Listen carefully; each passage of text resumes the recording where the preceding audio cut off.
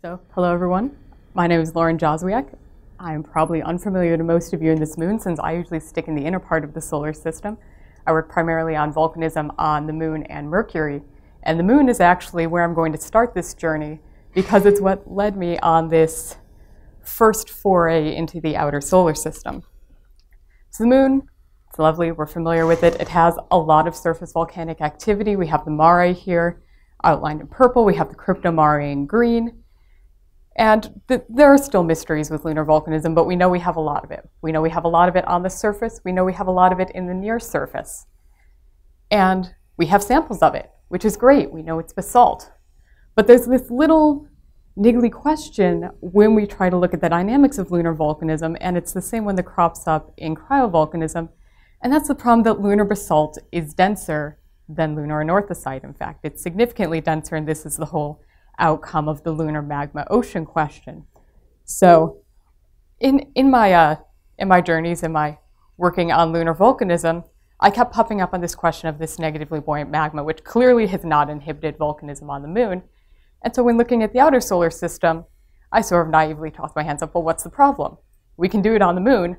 Why should this be a huge problem in uh, inhibiting volcanism on some of the icy satellites? So how, how do we solve this on the moon? As I said, the moon has an extensive volcanic history, both extrusive and uh, near-surface intrusive. Lunar basalt is denser than the anorthositic flotation crust. How can we reconcile this?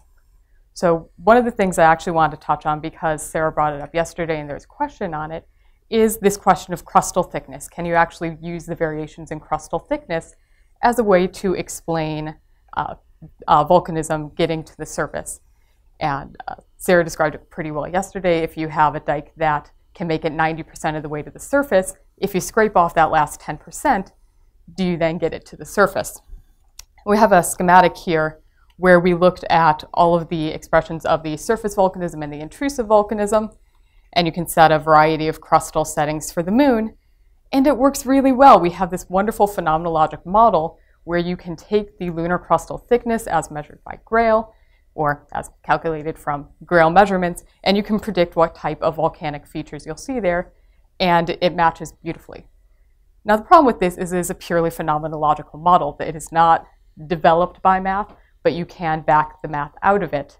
And the other problem, if we wanted to try to apply this to the icy satellites, is that we don't have the kind of topography, we don't have the kind of crustal thickness measurements for these bodies that we do for the moon. So I didn't want to take this and apply to the outer solar system because that was just going to be an exercise in futility. So the next question was, well, can we use one of the other new insights from the moon? And that is this idea of actually the lunar magmas are quite volatile rich. And so this is work done by Saal, by Hauri, by Rutherford, by Wetzel, discovering all of these rich volatile sources in the rising lunar magma. And the, the theory behind this is really quite simple. The dike tip environment is a natural vacuum. So you're going to set up a pressure gradient within the ascending dike, and this is going to force volatiles to exsolve. Now you have bubbles in your melt, now you have a less dense melt, and you can get it to the surface. And we do actually see examples of this on the moon. have here a, a schematic of a little floor fractured crater, which uh, Deborah talked about quite a bit yesterday, but your ascending dike. It's got a lot of volatiles in the dike. The dike tip, it forms a sill, and you have this, this little, um, call it a magmatic foam layer at the top, and we can actually see some preservation of this in the GRAIL data for lunar floor fracture craters where we know there is a large magmatic body beneath the crater, but the gravity signature is not this huge Bouguer high like you might expect. It's actually quite moderate and right about what you would expect for the local crustal density, which makes sense because now you've stalled. So question was, can we use this model? Can we use dike propagation, in particular volatile exsolution in dikes, and apply it to the outer solar system and use that to interrogate dike-fed cryovolcanism. So what's nice is that it's a natural consequence and we actually have equations for it. And I actually happen to have a model that I had used for the floor fracture crater problem where you have a dike propagating through the crust and you vary the crustal environment. So I thought, well, what can go wrong? I'll just apply this to the outer solar system. You should hear the little warning music in your background right now. So can we use lunar-style dike-fed volcanism as, as template for cryovolcanism? And we we want to sort of naively compare the interior structures that we're looking at for this model. And this is, if we were to remember uh, Sarah's talk from yesterday, where she had the whole suite of possible silicate volcanism processes. This is just one tiny one where you have a, a melt body, where you have melt percolating up. It, it impinges on the bottom of the brittle ductile transition, and then it begins to brittle fracture and it forms dikes that propagate some distance into the crust. And on our icy, our icy satellite, we have an ocean, so we're just going to assume it impinges on the base of the crust. We're not considering any sort of ductile ice where you might have some ascent into a ductile ice, or you might have ductile ice down here, which is stalling it lower. We're assuming just at the base of the ice shelf for simplicity. And these are the equations that we're using in it. So the initial driving pressure is the pressure on the mantle melt reservoir, and we're going to kind of come back to this because it's not actually clear how applicable this model is going to be. But this is where we're going to start, where you have melt accumulating over some vertical region. This would be the melt region in the mantle if we were on a silicate body. And we're going to vary it a little bit because it's not clear what it should be on an icy satellite. So we're going to let this be a free parameter. And then you have our, our dike propagation, our fracture propagation equation here, where this is the stress intensity of the material fracturing, and basically the driving pressure at the tip of the dike, uh, plus the density parameter, and this isn't minus here because we have negatively buoyant magma. So you're, you're in a race against time. You need to see if your driving pressure is greater than the negative buoyancy of the magma, and can you make it to the surface in time? It's really quite exciting to see what happens. So in our model, this, uh, the density of the melt is calculated iteratively as it moves through the crust. And with this, we also vary the crustal density. The crust is not a single uniformly dense slab. We use uh, models actually taken from firn densification. So you assume at the surface about 20% porosity in your ice, and then you compact it down until you hit a, a fully compacted horizon. And then you propagate the dike through that. And again, here these are the other parameters in here, the vertical extent of melting, density difference between the melt and the mantle. This is going to be important. Density difference between the melt and the surrounding crust, fracture toughness, and then the, the height of the dike tip, how far it can propagate. If we set up our model, again, I wasn't quite sure where I was going to go, so I want to test a lot of different possible things. And it turns out there are a lot of different possible variables for the icy satellites. So ice shell compositions. There are a lot of different ice shell compositions one could use. So for simplicity and for using parameters that I could actually find in the literature, I went with just a pure water ice crust, however in physical that might be, and also a briny crust, so something that entrains salts and other bits of our particulate, whatever those particulates might be a varied cryomagma composition, so a pure H2O water, a briny water, uh, a water plus ammonia mixture. Cryomagma temperature, so this comes into play again in our driving pressure term if we think about these thermally buoyant plumes of cryomagma rising through the ocean.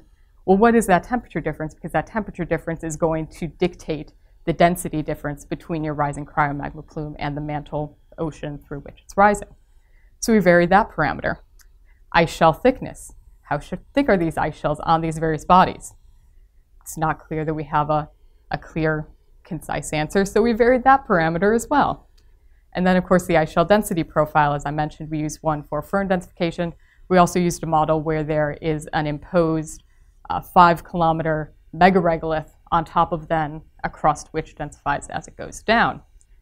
Constants, thank God we did have a few constants in this model gravitational acceleration. All of these uh, models were done for Europa, although you could easily change this for any other body. Ice fracture toughness. Uh, we used two different parameters, one for pure ice and one for briny ice, and these are from terrestrial experiments. So they are not done at the temperatures that would necessarily be applicable at the bases or throughout these ice shells, but they're what we have. Then this height of the melt region. In terrestrial situations, this would be pretty much constant. You can measure it through tomography on seismic arrays on the Earth. We can calculate it for things on the moon.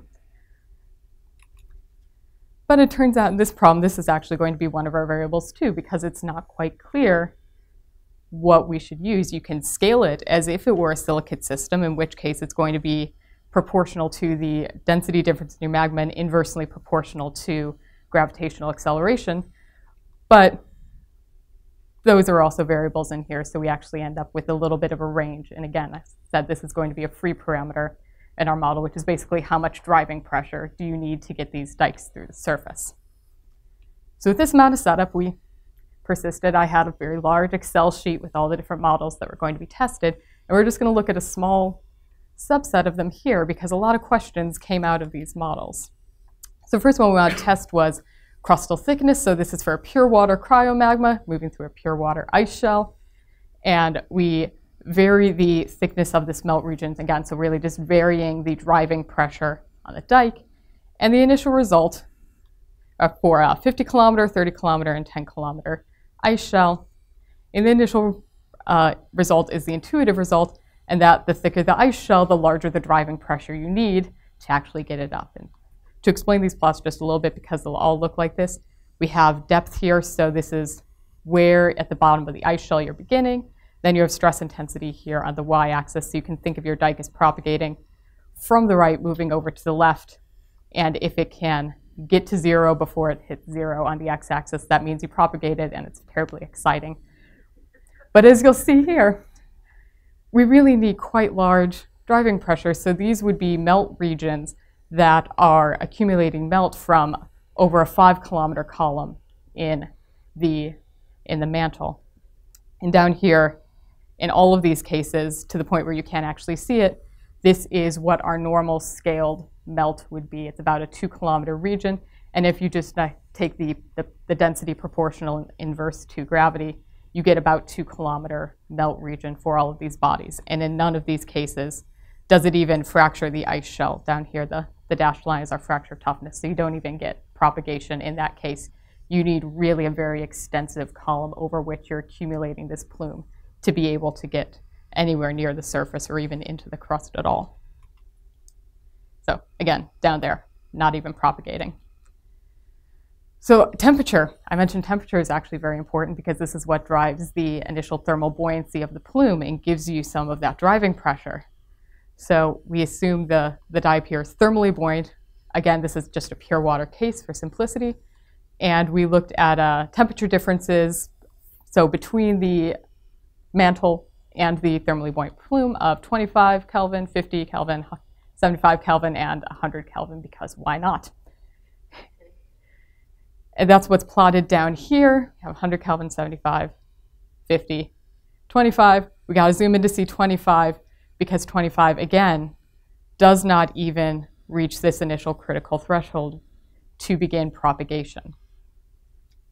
So perhaps the most, the most reasonable one is 25 Kelvin. Again, we're failing to get propagation. So something's going on here that we just can't get large enough driving pressures to even begin to fracture the ice shell to make our journey for these dikes. I was getting a little disheartened at this point, and I wanted to see if I could make it work at all. So are there any cases for which dike propagation is success, uh, successful for reasonable, reasonable H or this reasonable driving pressure? And this is actually a typo and a reason why you should not do slides late at night. So we did get successful propagation, but it's not 0.3 weight percent, it's actually 30 weight percent. So if the interior of Europa were industrial refrigerant, we would be able to get it to the surface. But this is really not a, a, reasonable parameter. But we can back it out and we can look at what the density difference that got us there was, and it's about 100 kilogram per meter cubed, which is not unreasonable if we were to then try to use dike tip propagation. So it suggests that this dike tip degassing could be successful, because this is about the density difference that we're able to get on the moon for these things. Now it will come out fully. We did not actually test dike tip degassing yet because at this point in time, I've got questions.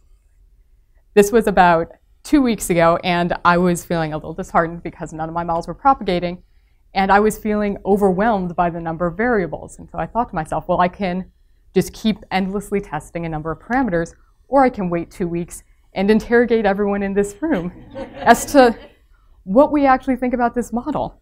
So I've got questions for you people.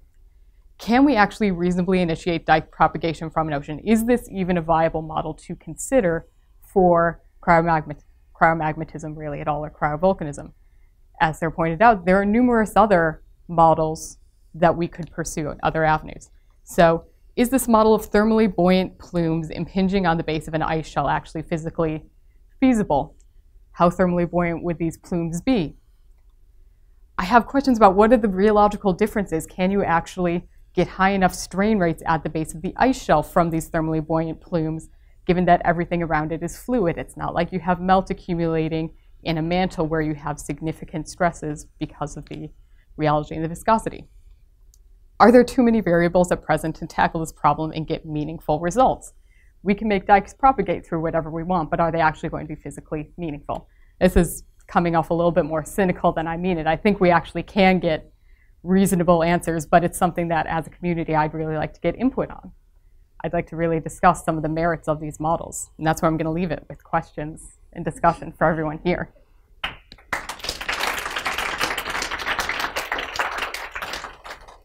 Okay. Yes.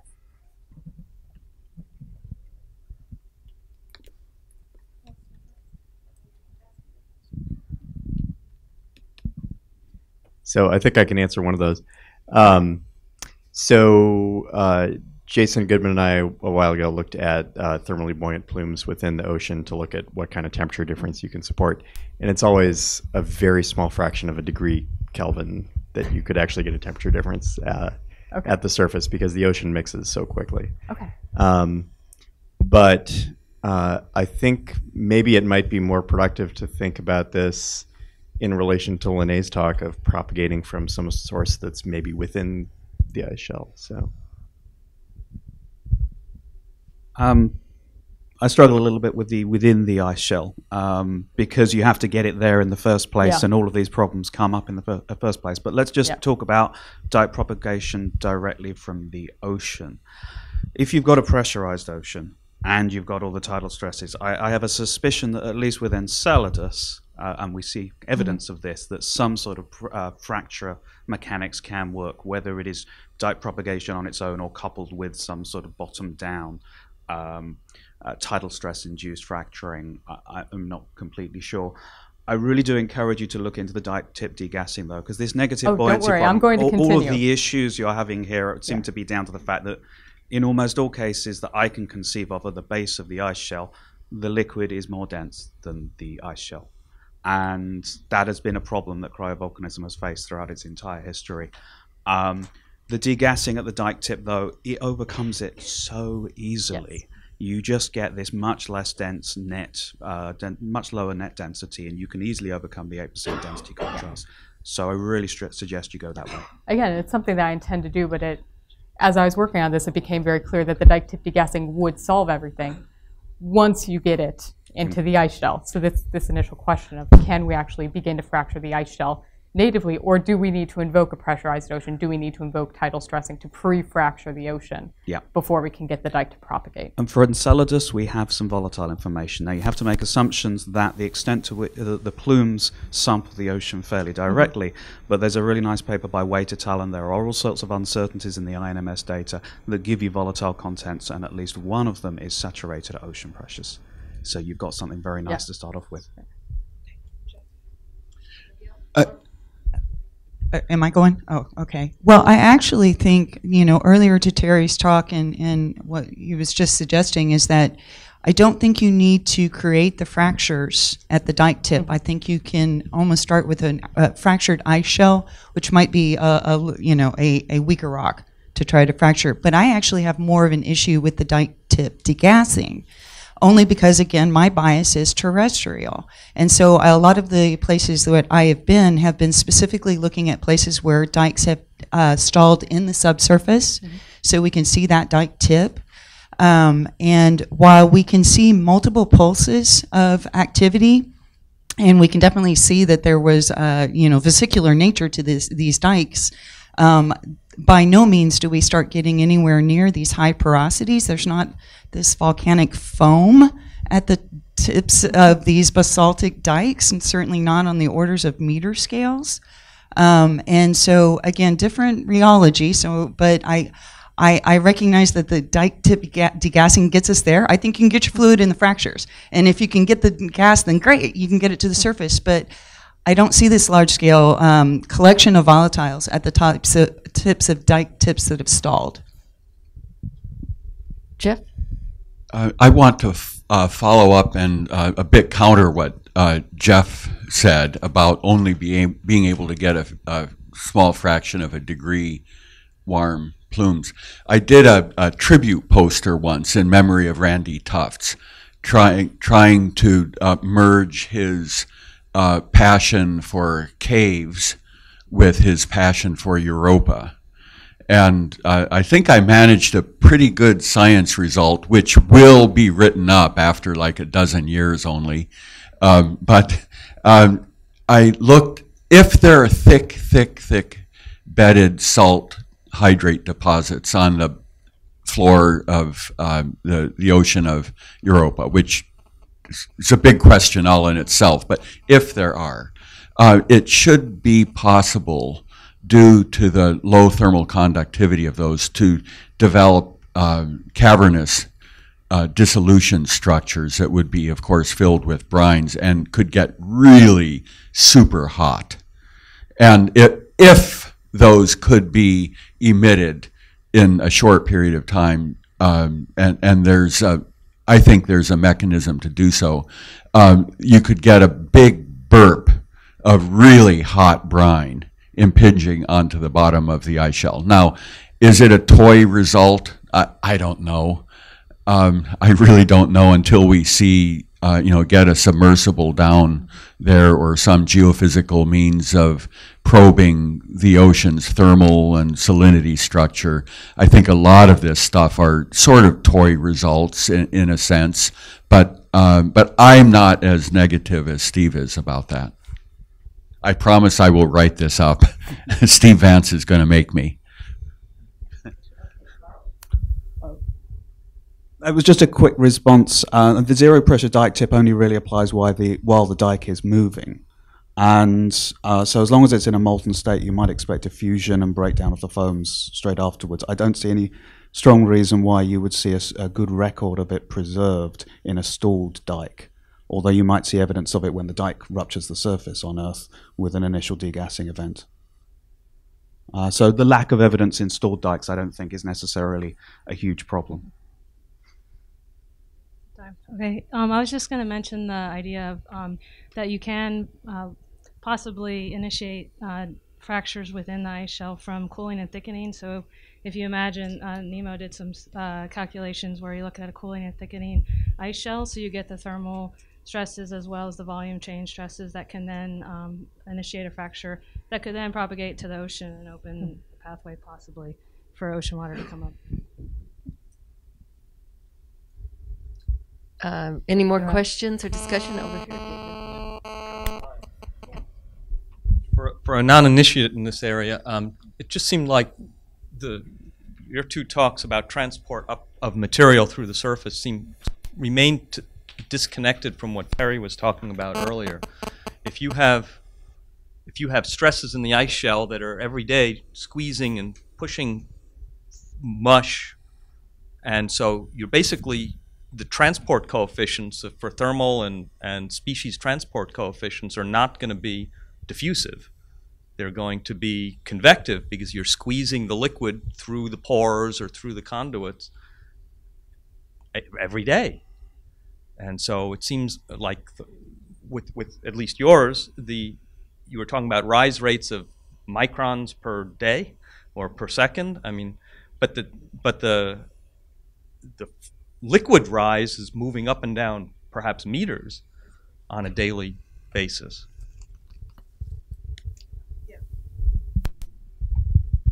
Yeah, no, that's a good point, and I agree. Mine is also a little bit disconnected, and it's it's been hit on with several of these comments. But what I kind of wanted to do with mine is see, can you look at it from say purely analog to silicate volcanism, where we don't need to invoke daily tidal stressing of the Earth's crust or of the Moon's crust to get dikes to propagate.